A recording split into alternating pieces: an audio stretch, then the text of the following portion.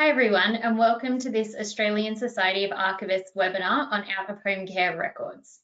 I would like to begin by acknowledging the traditional owners of country across Australia and recognise their continuing connection to land, waters and culture. Kirsten and I are presenting from the lands of the Boonwurrung people of the Kulin Nations, Frank is presenting from the lands of the Wurundjeri people of the Kulin Nations, and Simon will be presenting from the lands of the Kaurna people. We pay our respects to elders past, present, and future. Just to remind everyone, this session is being recorded and we will have a Q&A session for the last 15 minutes. We encourage you to submit your questions throughout the webinar.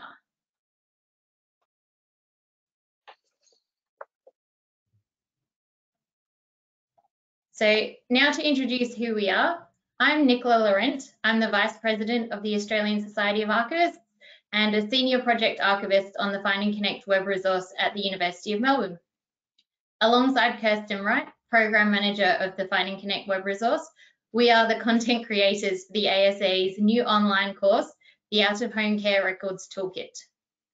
Joining us is Frank Golding, OAM, Vice President of Care Leavers Australasia Network, also known as CLAN, and an Honorary Research Fellow at Federation University. Now, hopefully concluding our panel, um, he's having some technical difficulties at the moment, will be Simon Froude, the Director of State Records of South Australia, and also a member of the Council of Australasian Archives and Records Authorities, known as CAARA.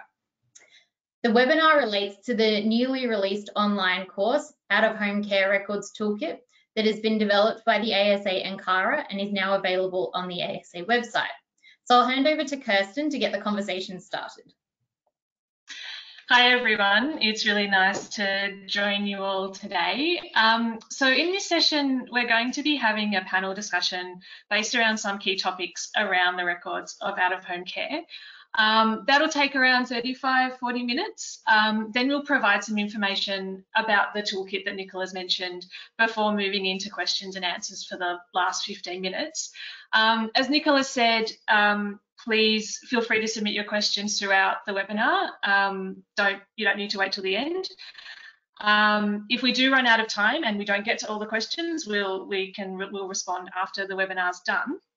Um, and yeah, hopefully Simon is able to join us, um, but we will carry on. there will be plenty to talk about, um, yeah, even if he's not able to join us. Um, so we might start by defining what we mean when we talk about the records of out-of-home care. So Frank, I wonder if you can start us off by sort of providing a bit of overview, a bit of an overview around, yeah, what what records are we talking about when we when we talk about records of out-of-home yeah. care? Thanks very much, and and um, hello to everybody out there. Um, Yes, there are two types of records that uh, the ASA has identified, uh, interestingly, and uh, we can take a starting point from there. There are personal records made about a child, uh, the case files and, and uh, correspondence about that child and, and so on. And then there are administrative records made for the purposes of the people looking after the children. Um, the ASA thinks that uh, we, it's important to distinguish between those two um, because uh, um, the question of ownership, which I hope we'll get to talk about later on, uh, I think is bound up in that that question of why records are made and, and what their nature is. The Find and Connect website is one of the most interesting, uh, one of the most interesting pages for me is a list of 25 different types of records.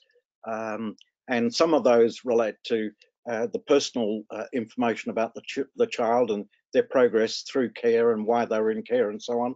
Um, but uh, others are um, um, clearly more administrative. But I actually think the more we look at those administrative records, the more possibilities there are for actually seeing the potential for finding personal information in them about children. And there have been some recent examples where people have looked at the superintendent's diaries, for example, or or correspondence from a home to uh, uh, the Department of uh, Child Welfare or whatever it was called in those days, uh, and and children's names are mentioned and details of personal information about them uh, mentioned. So I think uh, while it's useful to look at the two types of records, I, I think we should avoid kind of keeping them separate. Um, much better to bring them together. So that's the Mm. sort of uh, records. You want me to talk about why they, they matter? Yes, absolutely. Excellent segue into the next issue. Yes, well, I, I would start by just looking at uh, normal families, uh, inverted commas normal. Um, I've, I've got one of my own. Uh, I've raised four children, um, and I, I think about the the kind of uh, connections that uh, my children have with my family, and I'd ask people who are uh, participating in this uh, webinar to think about their own situation. We we all have a kind of uh, bond or family uh, connection or identity, uh, which is uh, we're capable of going back several generations in most cases. You find the the bonds uh, documented in family documents, scrapbooks, photo albums, mementos found in shoeboxes under beds, in the in the in the garage, and so on. Um, they're the memories and experiences that, that people have. There are also um, things like Christmas presents that are handed to you by your grandparents and um, um, certificates from school and scouts and so on. These are the things that we we hang on to because they are important to us. They identify where we belong. When we go to school, uh, we come home and we're somebody's son or daughter. Uh, when grandma sits around the dinner table, uh, you know, we don't necessarily have to talk about family, but we know our we know our place in the world in that sense. Now, the point about uh, that long-winded sort of introduction to normality is that that's not the situation for people who grew up in out-of-home care. They don't have that kind of thing. Uh, their, their, families have been fractured. They don't collect uh, personal items in that same sense. They don't have Christmas presents from parents and the like. So there's a kind of generational uh, uh, loss there. And uh, if I can quote from one of uh, our members uh, who told the Senate committee, our entire family was ripped apart and we can never get back together. They split me away from my one week old brother and we never knew each other until we were old. I had cousins in St. Aidan's and the nuns never told me. I never knew my family. How can you get back together when you don't know each other? And, and that's, uh, I think, uh, one of the areas where records are really fundamentally crucial. Uh, another one of our members wrote, I know more about Captain Cook than I know about my family. Uh, he's an 80 year old who lives in New South Wales. And he was describing this genealogical void, uh, this vacuum uh, of information common to many of us. Leonie Sheedy, who's our CEO and founder of Clan, talks about being a parentless family. And she said, I have no sense of belonging to a long line of extended relatives. No parents, brothers, sisters, aunts, uncles, cousins, second cousins. My loss is also my children's loss, as they have no extended relatives on their mother's side either. I feel that I have no past, that my life only began as a three year old. Mm. And so, and, and, many of us were ushered out of out of home care, um, still very confused about our place in the world, um, confused about why we were there in the first place. I was in an orphanage, but I knew I had parents. They used to come and visit a couple of times a year uh, for the 11, 12 years that uh, that I was in care. So, in a sense, the search for identity and family and connection to family and so on uh, requires us to start again. And what better place to start than in the records that have been kept about us, made about us? Yeah. Uh, yeah. Actually, and I I've used a, a term of a storehouse of hope. Mm. Sorry, Kirsten. Did well, I was just going to say, I think as well, it's important to remember that even though there are these records relating to people's childhoods who grew up in out of home care. They're not the same as the, the normal family records that would have been created under different circumstances. They, they are created by the organisations about Yeah. the children. They're not they're not by the children or by those families. Um, yeah, which is quite a different um, childhood record, I guess. you, you might actually think uh, that um, care leavers actually start with an advantage because Mm. somebody somewhere has has collected all these childhood records about us, and all we have to do is go and get that, and we'll understand our childhood. that's that's the uh, the metaphor of the storehouse of hope. Um, Mm. But so often that store that hope is dashed because what we find in the records is not at all uh, like we expected.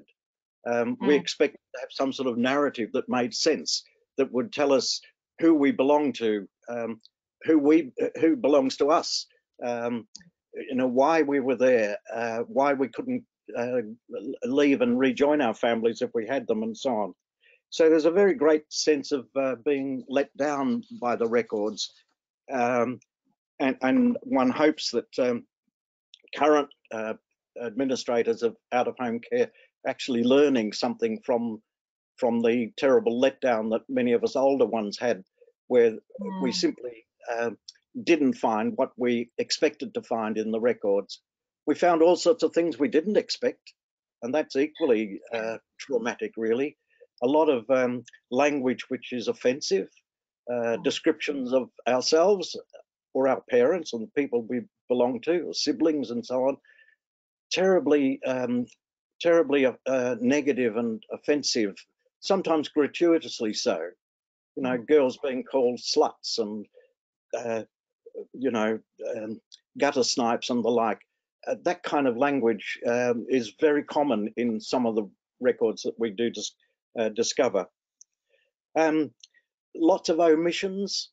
Uh, you, you'd expect to find medical information, and many of us want to have that because, you know, I can't remember what injections I had. I've got some scars on my arm, so I must have had something, but there's nothing in my records about my medical um, um, experience, except that I was free of syphilis when I was two and a half years of age. and Gosh. and uh, also, I didn't suffer from epilepsy. Uh, that's the only medical information that, that, I, that I could find. And many of us complain about the lack of that sort of basic information. Um, and one of the one of the other things that uh, we do find uh, a lot of uh, care leavers say, and I've found this particularly the, the case too in my own records, is that there's no no sense of the voice of the child in the records.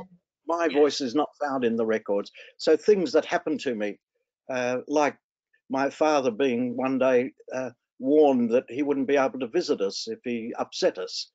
Um, I wasn't upset, and I would have I would have said I would be more upset if he didn't visit us, but I didn't ever have the opportunity to say any of that.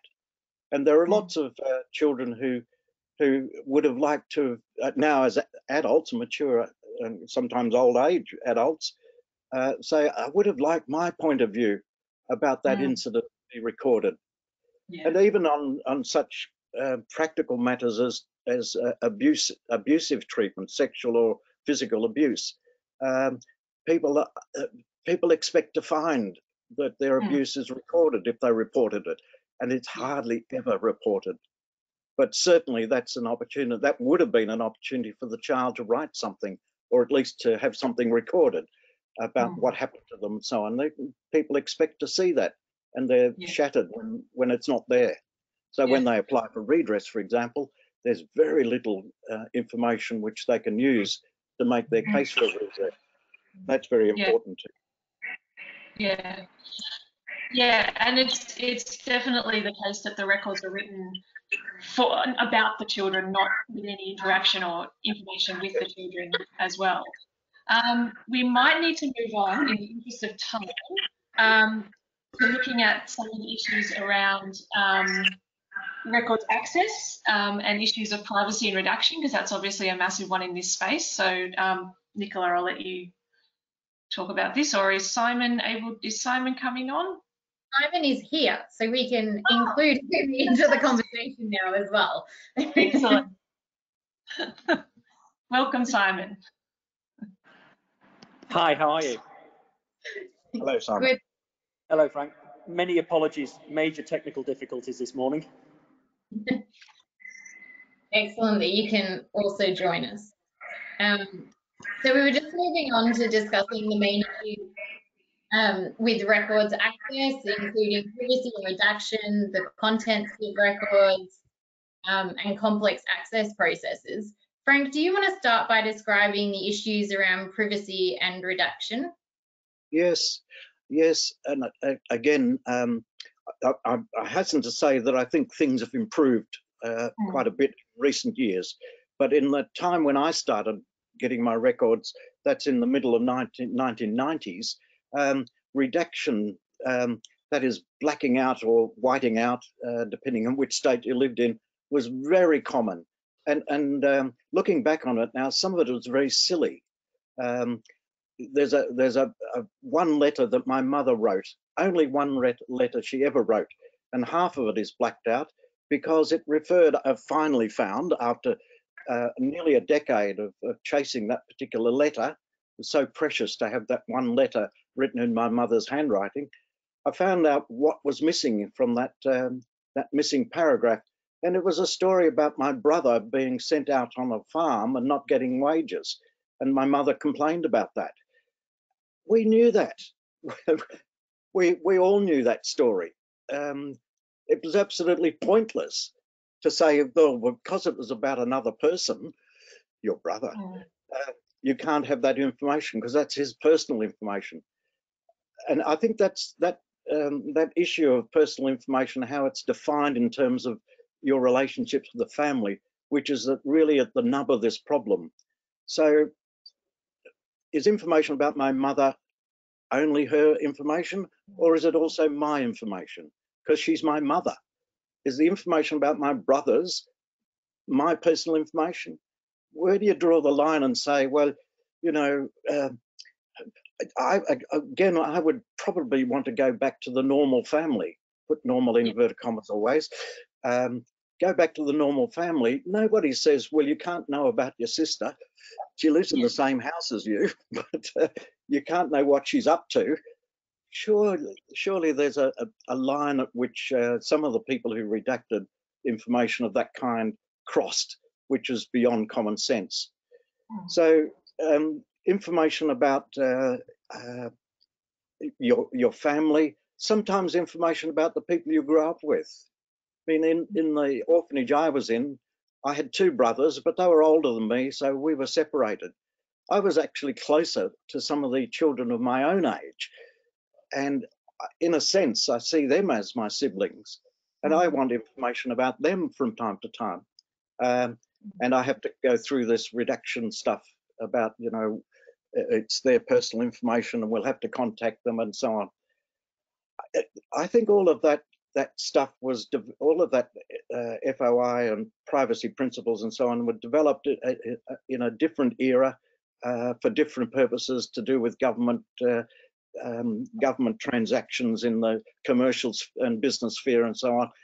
Um, I really do think that uh, out-of-home care records are in a class of their own and should have separate rules. And indeed, we've got uh, we've got plenty of advice about how that should operate uh, through the Royal Commission recommendations and the uh, DSS uh, guidelines and principles, which you know make common sense to me. I think that's a, a, great point that we might bring Simon in on. Simon, are you able to comment about how tools like the Privacy Act can help or hinder in these situations in regards to redaction and privacy? Uh, yes, yes, certainly I can. Uh, and sorry, I have to apologise. I was meant to be operating off a tablet today, and I'm on a, now sat on an iPhone. So um, we'll see how we go. Um, but I think you know Frank talk, uh, has mentioned some really good points around uh, around privacy and around FOI, and they are both um, very bureaucratic processes aimed at dealing with bureaucratic records. And I think what we fail, and, and particularly for larger institutions and, and, and government generally, we we generally fail to to consider what we're dealing with as a as personal. And, and these types of records are extremely personal. They're not they're not bureaucratic records, and we we think we we have a tendency to dehumanize the process and to dehumanize the records.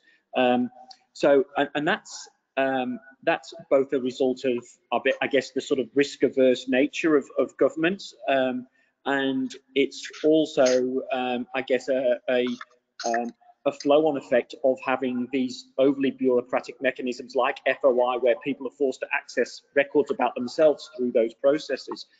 So in, a, in an ideal world, agencies and organisations who are dealing with um, records such as those from out-of-home care leavers, um, they, they, my, my advice would be that they look at putting in place mechanisms to provide access outside of FOI.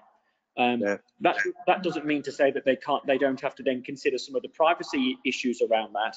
Um, but at least it it it it, it by removing it from the FOI process, you you actually have an opportunity to to bring the human element in and to consider individuals on a case by case basis.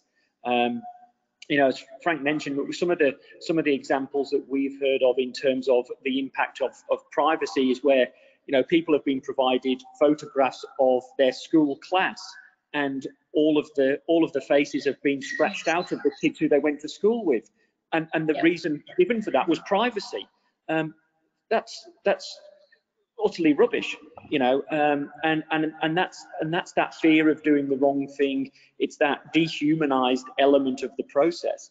Um, and and I, and I think people tend to just fall back on privacy and say oh yes we can't release this because it's because of privacy when they don't actually understand what privacy means or what the management of personal information means. So there's a lot of education and cultural change that needs to happen across large organizations um, to get them to understand that yes, privacy is a factor, um, but it should never it should never be used as a blocker to providing information to people of this in this these sort of circumstances. Um, and uh, you know, I do think that as uh, you know, Frank made a really really good point about the fact that um, records relating or records for out-of-home care leavers uh, where they include information about their parents or siblings that is um, there's a really strong argument there to say that that information is the applicant's personal information just as much as it is that other person's. Um, so one of the, one of the things that we're trying to do here in South Australia, in fact, is to make. Um, we're fairly fortunate that we don't ha actually have privacy legislation here. We have um, a, a, policy instrument that that directs state government agencies around privacy. Um, and so what we're trying to do is actually to make some changes to that um, those privacy principles and the privacy policy here that allows for the sharing of that sort of third party information to applicants and actually gives gives agencies a mandate to do so. Mm. Mm. Yeah, thank you, Simon. And I think you pick up, there's some excellent points in there I just wanted to highlight. And, and we do go into more detail about this in the toolkit. One is, I think, to yeah, in in terms of taking a more human approach to privacy or a you know, slightly more sensible approach to privacy, is to remember that there's no point redacting stuff if the person was there. So, like the example of the yeah school photograph, we've all got school photographs, you know, of our showing our classmates. We were there for those photographs. Um, people who grew up in out-of-home care were there for the photographs that were taken of them. I, I personally can't see the point of yeah redacting stuff when the person was there and may have memories of it anyway. And the second point I wanted to just highlight was the fact that all organizations do have a choice about how they want to release records. Um, I think for a lot of agencies, government agencies in particular, um, there's this notion that they are obliged to go through an FOI process, like that's the only way that they can release records. And I think um, what is really clear in this space is that, yeah, agencies can decide to not go through that process and have an informal process. And that can, yeah, make the whole thing more human really quickly. So, yeah, just wanted to jump in on that, I guess. On that point, uh, Kirsten, uh, the leadership in this area is clear. I mean, we've had uh, we've had a guideline from New South Wales uh, Information Commissioner. We've had a, a, a, policy discussion paper from Victorian uh, Commissioner of Information, and and other people. They're, they're all saying, go informal. You don't yeah, need yeah. to go through the bureaucratic processes. These are kids who grew up in your care or the care exactly. of the organisation you're now working for. Uh, just treat them as people who need information, and you've got yeah. the information. Why keep it back from them? I mean, I keep I keep asking that question when I when I meet obstructive people why are you holding on to my information? Why can't yeah. you just give it to me? it's no use to you anymore. Yeah. Might be useful to historians perhaps who want to do academic research, but but you know, just give me my information. Yeah, yeah, exactly. Um, sorry to move us on. I'm just really conscious of time and we still have a lot to cover. So we might move on now to discussing the Royal Commission into institutional responses to child sexual abuse as Frank mentioned already, um, that the Royal Commission did look at records and record keeping as, as part of its, you know, it had a very wide mandate, but as part of it, it did it did look at records and record keeping. And the final report, um, volume eight, was about um, record keeping and information sharing.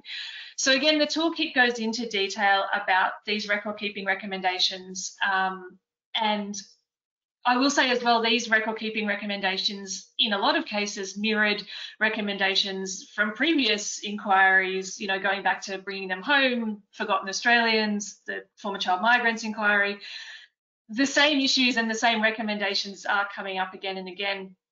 Um, but to um, talk to Simon maybe in the first instance, do you want to talk about how the CAARA agencies have responded to the Royal Commission record keeping recommendations? Yeah, sure. Thanks, Kirsten. And, and I agree with you wholeheartedly that um, you know the things that are raised in that Royal Commission are, are nothing new for people who've been in and around the record keeping industry. You know, we have 20, 25 plus years of recommendations from various inquiries that all pretty much say the same thing that records are really important and that we need to do better. Um, so from a from a CAARA perspective and and um, in talk and I guess in talking about the the response from various jurisdictions. Um, I'll, I'll, talk obviously about the, the, the, government record keeping and archival authorities as opposed to the, the, the maybe church based or, or, whatever it might be, but certainly from the from the government side of things, um, all of the jurisdictions put in place disposal freezes on records of relevance as soon as the Royal Commission commenced.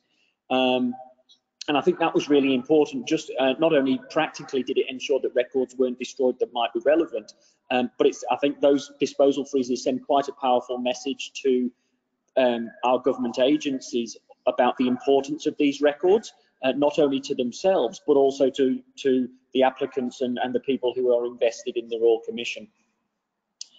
Um, there was also um, a, a, lot of liaison between CAARA and our working groups in the Royal Commission. Um, there's a, a, paper submitted on the matters relating to record keeping and some of the things in that paper came out in the in the recommendations. Um, so as you mentioned, the, the, the, I guess the first five recommendations uh, in volume eight of the report um, are fairly specific to government organisations, and then they start to move on to the into the education sector and, and, and around information sharing. But those those first five recommendations, um, recommendations 8.1 and 8.2, are very much around the retention of records and the need for agencies to um, retain records for at least a minimum of 45 years. So all, all authorities have responded to that and they've amended existing disposal authorities or they've put in place new disposal authorities to ensure that at least at a minimum those types of records are retained for 45 years across their jurisdiction.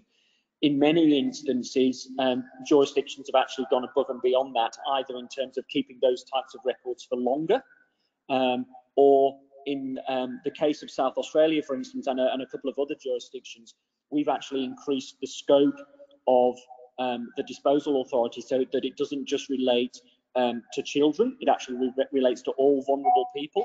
Um, and we've also increased it so that it doesn't just relate to child abuse um, or sexual abuse, sorry, but it relates to abuse of any type of nature. So whether that's um, physical, mental, financial abuse. So um, we're hopefully capturing a a lot more uh, of a broad brush of records that might be relevant to people uh, who've experienced uh, and been on the receiving end of, of government policies and government services of that nature. Um, and that was done with one eye to knowing that there are royal commissions into aged care and disability and the like as well that are currently going on. And chances are we're going to see the same recommendations over and over again. Um, recommendation 8.3 um, relates to or re recommends that um, um guidance and advice be published that's, that's usable by both government and the non-government sector. Um, so CAARA have actually done that. We've, we got a working group that worked through those issues and that guidance has been produced and is available on the CAARA website for agencies and all non, you know, for government and non-government jurisdictions to look at. Um, many, uh, many jurisdictions have got links to that from their own websites and some have also um, tweaked that guidance to be specific to their jurisdiction as well. Um, so um, for for agencies, for them, whilst you know from a legislative point of view, we might only uh, be mandated to provide advice and, and policy direction to, to government agencies within our jurisdiction. Um, the guidance was written in a way that it, it can be picked up by non-government organisations as well. Um, and that guidance also then really uh, picks up on recommendation 8.4, which was around the principles. Um, and we strongly support those principles that were included in the um, in the report. Um, again, they're not um, uh, they're not unlike principles that we've seen from other reports um, and other reviews. Um, they, in most instances, they um, match the principles that we abide by anyway in terms of rec good record keeping and archival standards. Um, and so there has been a bit of work done in the jurisdictions to um, make sure that they're more uh, that you know that the, the, the, work we're doing is, is linked quite closely to those recommendations. I know that National Archives, for instance, maps their information stat management standard principles to the principles um, that came out of this Royal Commission. And so there's other pieces of work that, that, that have been done around the country. Um, but that guidance, that guidance material that I talked about at recommendation 8.3, that includes those principles and embeds that in the advice that we provide, not only to government, but also to the non-government agencies. Thanks, Simon. Um, yes. I was just going to say that might be a good point to move us on to kind of more generally talking about what agencies can do to improve access. That's all right. Because um, one of the key aspects of the toolkit is information and practical tips and tools um, to assist organisations in improving access to these records. Um, so a lot of the section of the toolkit is around the guidelines that Frank's already mentioned, the Department of Social Services guidelines, and obviously bringing in all those recommendations from inquiries of the Royal Commission that Simon's just gone through um, for us. So Frank, you were, you were involved in the development of the guidelines originally. Why is it so important for organisations to use them? Well, I think um, it goes to a point I mentioned just a, moment ago, and that is that while there are while there are um, there are uh, liberal, gener generous uh, approaches from leadership often about access to records, actually at the coalface, it depends on who you get sometimes who, actually is deciding on your record. So I think it's important that people understand that uh, uh, that the leadership is actually on the side of the person asking for the records, uh, and, and, you're not going to get into, too much trouble if you if you're generous and kind-hearted in supplying all the records without reductions. Uh, redactions, and people need to understand that uh, that the, the rules of the game are actually um, in favour of the applicants. Um, and so guidelines are important to, to help people through. I think of those uh, DSS guidelines, which talk about third party, for example, third party redactions. Um, they're quite clear and specific indications of where you draw the line at uh, a breach of privacy and where you don't. I think that that should be, I'm not sure it is, but I think it should be a, a very, very useful uh, tool for people uh, uh, making decisions about uh, releasing records. So you know, I just think um, there is so much that is good in the rhetoric, in the literature that is available to record holders and people making decisions about uh, access. Um, I just wonder why it takes so long for the the actual person making the decision uh, to to get to understand. Uh, yeah. I say to people, you know, if, if, if, Simon mentioned risk averseness, and I think that's a really important point. Uh, I say to people, I've been in this business now for nearly 25 years. I have never heard of one single case of anyone getting into any difficulty because they released personal information to someone incorrectly.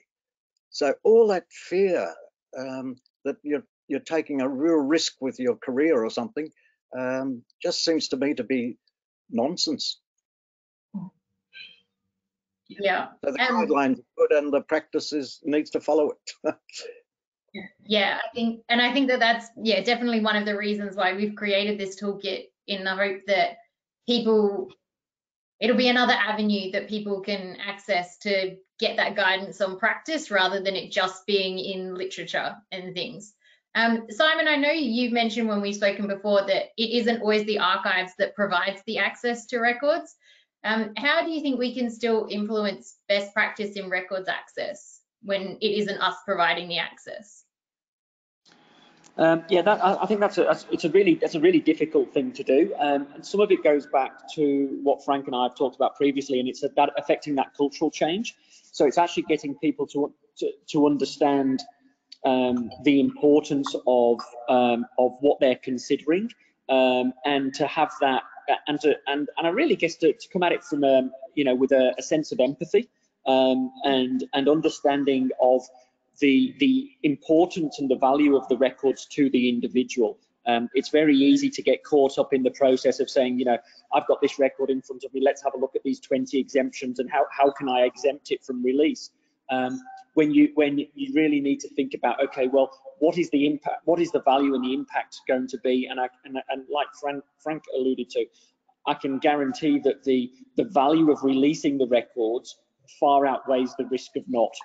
Um, so I, I, think you know I, I would um, support um, uh, a pro-release approach as opposed to a, a pro-exemption, pro-redaction um, approach. There are some um, there are some very I guess some practical things that agencies can do though. Um, some of those things are around process and some of them are around the sort of human element. So from a process perspective, you can approach this type of access outside of FOI, as we've spoken about before. That's quite a, a, a simple thing to do. You can put in place a, a very easy and simple administrative scheme. Understanding what records you hold um, so that you can actually then identify which records may be of value to the individual and also then help them with records that they might not be aware of. Um, so as, as Frank spoke about right at the start when I came in a bit late, it's not just the person's case file that's important. Um, it's all of the other records that might provide context and history about that person and the organization. So understanding that you've got those records and where they might be and how to access them is also important. Um, for a lot of individuals as well, they've, they've spent a lot of time trying to track down their information. So being able to respond in a timely fashion is, is really valuable and just, you know, understanding that um, these people might, you know, if you work in an institution that has provided care services, these the people who are coming to you may not want to have to deal with you, and but they've got to to get access to their records. So being, you know, being empathetic, be, responding in a timely manner, um, make, making the process a human process as opposed to a, a step process, um, all help um, the individual get the results that they want. Yes, thank you, Simon. That was great. Um, and Frank, as we just discussed before, the way records are released may have been difficult for people in the past. Now, you've seen a lot of records releases, um, and I was just wondering if you could talk to some of the features that make a good records release. Yes, I, I think we again we're, we're learning, um, and record holders are, are learning uh, from mistakes of the past. In in the past, you often just got a, a, a bundle of uh, records photocopied, sometimes really badly photocopied, uh, in an envelope, and and uh, you were left with them. And so uh, I, for example, I didn't understand some of the language. I didn't understand what it meant to be boarded out. I don't remember being boarding and boarding with a family. Uh, I've since learned that boarding out meant really fostering. Uh, I didn't know what committed meant uh, until I learnt about going to the ch children's court and being charged with the offence of being a neglected child. I didn't know what um, uh, disposal of the child meant.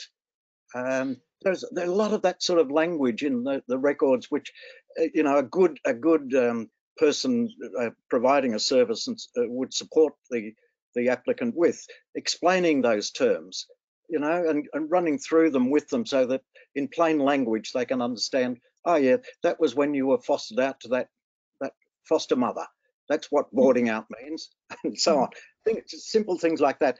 The other uh, thing that uh, I noticed when I got my files, and lots of people until fairly recently experienced this, they just got them willy-nilly as they were photocopied, apparently. There may have been a system in, in the house, but we couldn't, the recipients couldn't, couldn't see it. These days, the good supporters are actually making a story out of the records. They're putting them in chronological order, you know, the mm. first days through to the last days, so that you can follow a story through. And, and also providing some, some kind of genogram at the beginning, which actually explains who's who um, in the in the records. So when somebody's mentioned, uh, you can look at the first uh, introduction and see, oh yeah, that's that person. Uh, a lot of people don't know their birth parents, um, and they certainly they many people are learning that they've got siblings through the records. So having having some sort of uh, uh, chart or genogram of some sort, uh, I think is very useful. And I think um, it's a mark of respect that you don't send them out in a plain brown envelope anymore, that you actually make something nice of them, put them in a nice folder. Uh, you know, I'm not I'm not suggesting decoration for decoration's sake, but you're showing respect if you actually present them in a respectful sort of fashion. Those are simple little things that people are best practice people are doing now routinely and good luck yeah. to them for doing that. Yeah. Yeah and i think that's a really interest a uh, really important point is that these are like quite simple steps that an organization can do to to vastly improve how the records are received by the recipient you know you mentioned getting black and white um, you know copies of records you know we would encourage organizations to provide high quality color copies you know um, yeah, putting them in a nice folder, um, telling the person when they're going to be, you know, sent out or asking the person how they want to receive them. Like, I, I think all of these things are, yeah, little steps that organizations can do with like not much extra effort on their part. Um, and I wanted to highlight as well that in this space, there are lots of support organizations available. Um, you know, it can be a bit overwhelming for, for an archive to, you know, suddenly make these changes and, and think about what it means for their work. But you know, organisations such as CLAN and the Find & Connect support services and LinkUp, they're all very experienced assisting people through this records access process. And so one of the things we talk about in the toolkit is that archives and record holders have um, information available about these organisations so the person, the requester can decide do they want to interact with the record holding organisation or do they want to instead go through a support service and get them to help them? So yeah, there are more options I think available today as well about how people can go through that records access process. Gosh, looking at the time, um, just to highlight some of the documents we've been talking about today. So the Department of Social Services Access to Records by Forgotten Australians and Former Child Migrants um, contains both access principles and then best practice guidelines. If you haven't looked at that document, would highly, highly recommend it as we've all sort of talked about, it really steps you through a records access process and, and helps that decision making process. Um, CLAN has a Charter of Rights to Childhood Records, which again, if you haven't seen, would really um, encourage you to have a look at because I think that's an important, um, it sets out what care leavers want in this space. And I think that's really important for, for people to, to know and acknowledge as well. And um, yes, the recent guidance issued by the New South Wales Privacy Commissioner talking about informal release outside of legislated processes. And yeah, we've seen a discussion paper in Victoria as well, and there there is definitely a move towards those using those more informal processes for that um, purpose. So yeah, just if you haven't looked at those um, already, would encourage you to to have a look at those documents. Okay, so um, I think we've had a great discussion so far on the importance of out-of-home care records and the continued need to improve access to these records. Um, it's been a pretty whistle-stop tour through these issues, so um, I hope you managed to keep up with us all. Um, but we hope it's given you an understanding of why this new online course on out-of-home care records has been developed. Um, the course is covering these five areas of the history of child welfare in Australia, record keeping issues for records of out of home care, the Royal Commission into institutional responses to child sexual abuse, um, the importance of contextual records, and then a really large section on providing access to these records. Um, the, sorry, there we go. So the course has videos with experts in throughout. We've got six experts in this course. Um, we've got the great Frank as one of them. We've got Caroline Carroll, um, who is the president of the Alliance for Forgotten Australians. We've also got Leonie Sheedy, who is the co-founder and chief executive officer of Care Leavers Australasia Network. We've got Ethna Donlan, who um, was the manager of the records and coordinated support and regional outreach teams at Open Place Victoria, which is one of the support services that Kirsten was just mentioning before. Uh, we've got Michaela Hart, a senior archivist who works in this space for the Department of Health and Human Services Victoria.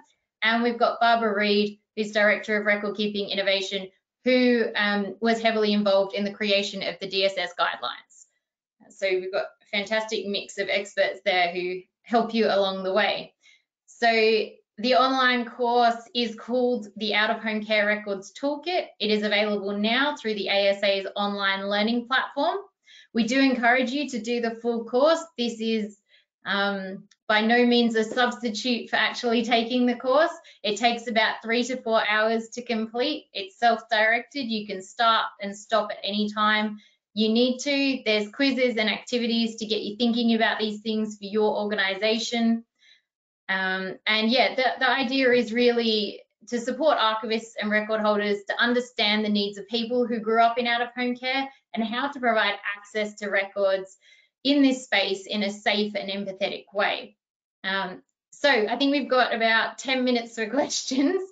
so we hope you've all um, been able to follow along with all of that. So please, if you've got any questions, write them, write them in the box now. Um, so we do have a question already, so we can start off with that. Um, so Tracy Bradford says, and I'm just going to lean forward so I can actually see my screen. So sorry, everybody. Um, I would be very interested to hear from the panel on the importance and validity of oral information as a source of information when considering and dealing with requests for access to records. So I don't know, uh, Frank, maybe if you want to start off on that one, and Simon, you can come in. Yes, there's there's there's a, a, great deal of work going on. Well, I call it work, but I, that's probably wrong. There's a great deal of activity happening around oral work. Um, uh, just as Indigenous people have a, a, sort of an oral tradition of storytelling, I think a lot of care leavers uh, uh, favour that approach too. Uh, a lot of storytelling, a lot of uh, personal accounts being written, uh, as well as as as being told in meetings and, and uh, uh, reunions and the like. Very, very important uh, aspect. And it's there quite often that you'll find that people say, I've got my records, but I don't recognize myself in it. I want to tell my side of the story, if you like.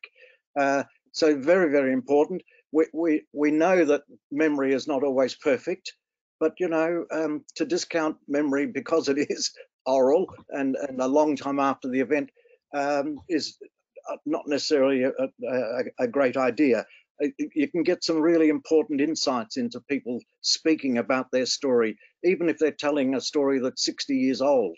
Mm. You know, mm. the, the, thing that that uh, strikes me often when I hear people talking about uh, their childhood memories is why have they remembered those things? There's obviously something that's very important in their childhood that they've hung on to for all that time and they want to tell that that story. So i, I think it's really uh, vitally important that we capture as many stories as we can. You know it might be important to transcribe them and get them uh, made available in written form because it takes a long time to listen to oral histories. Uh, and you've only got so much time to do that so, uh, and CLAN has been doing quite a lot of that work. Uh, we've been interviewing care leavers and publishing uh, their stories in written form in our newsletter. Uh, hmm. and, you know, it, it so often triggers others. That's the other ele element of it, that uh, so many stories are similar or mm. there are similar themes coming through the stories. Uh, So yeah, I'm a, I'm a great fan of oral work. Uh, Simon, did you want to come in on this as well? Did you have any comments to add? Uh, yes, um, I think, I mean, just picking up on what Frank said, I, I agree also that sort of oral histories are, are very important and are, are probably a very um, underutilized resource within within the sort of history sector. Um, that you know there are some people who do a lot of work there, but but generally speaking, most people will go to the, the written or the visual word and form. Um, uh, I think you know from a from a government perspective, oral histories and oral recordings of accounts are, are not the norm. So they're not the sort of thing that if you spoke to um, a caseworker or a records manager, they're going to automatically think that there should be, or that you know the the, the recording, or the, you know is an official record, or even if a recording exists. Um, but I think just as much as it's important, you know, oral histories can be really important for the care leaver. If you're able to um, have, you know, have interviews with the people who were the care providers, um, they will often, through that oral history, give um, a very different uh, take on the service than you get through the bureaucratic records, through the minutes and the reports and things like that. You, you, by by getting an oral history, you automatically get that human element, which I think is really important for for um, for the care leavers. Yeah. Um, and I will say as well, um, I think we talk about this in the toolkit. There's been some really great examples of work where if organisations don't have records, they're supplementing the lack of records with doing oral histories with former residents, and I think to then share them with other people as well. And I think that's a really um, valuable use of oral histories as well. Great. So we have be forgotten too that a lot of care leavers did not have a good education, mm. uh, a very poor education in many cases. And so, you know, ask them to write something and they go to pieces, but ask them to talk and they'll talk for the next couple of hours, like yeah. me. well, maybe you can talk to the next question. Um, we've had a question about what is the view where a family member does not want their information released to someone else, e.g. Um, to other siblings, for example? Yeah, I think that might be one of the rare areas where I would make an exception if somebody specifically says, I don't want my personal information released to somebody else, uh, you know, you've got a dilemma about overlapping rights. Um, but at, but at the end of the day, I think I would favour the person who makes that request that it should yeah. be personal and kept confidential. Yeah, and I think the guidelines support that as well. Um, you know, if a person makes a request about records that pertain to them and access in relation to them, then that should be recorded on the file. So if other people try and access those records, yes, people are aware before they release them. There's a related example where somebody says, I don't want my children ever to read my file because yes. it talks about terrible things. I, am not sure about that one.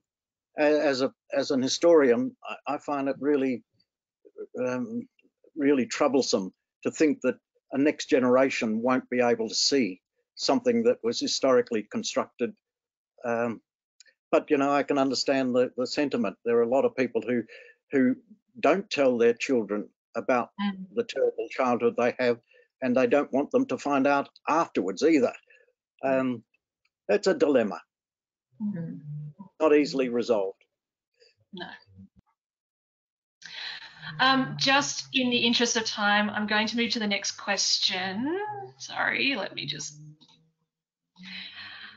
So Nicole Ashby asks, what role should the My Health record play? Out of home care agencies could gain access and add medical records to My Health record. I wonder if uh, Simon or Frank, you wanted to comment on that. Simon?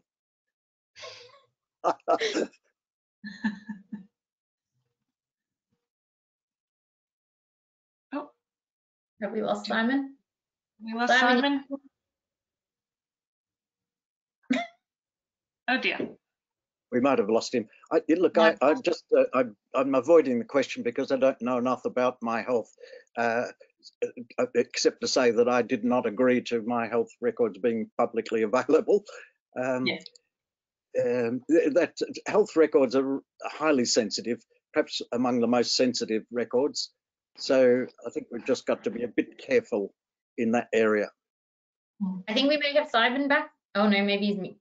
Yeah, Yes, I'm back now. cool. Thank you. yes, I, I, um, I, I agree with uh, with Frank there. I- you know, the, the My Health records are um, potentially a significant source of information for, for people, particularly if there are, um, you know, if there's genetic information that needs or hereditary information that can be passed down from one generation to the next.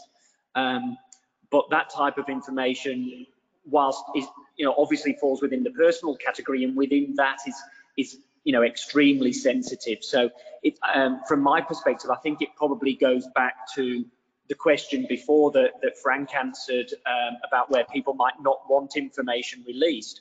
Um, I think for that sort of information, it's always very important to go to the individual whose information it relates to. Um, and to uh, to get their advice and their and to, to seek their to uh, seek their views on that because um, there is some information that they may be happy to release and there might be others that there might be other pieces that are, that they want to retain uh, confidential um, and that should be their right to do so.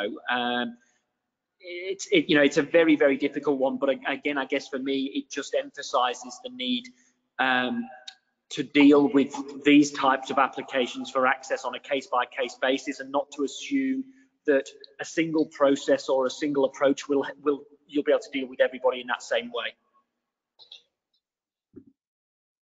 Okay, thanks everyone. And I know we do have some more questions coming in, so we will try and respond to you by email or something like that because it is two o'clock.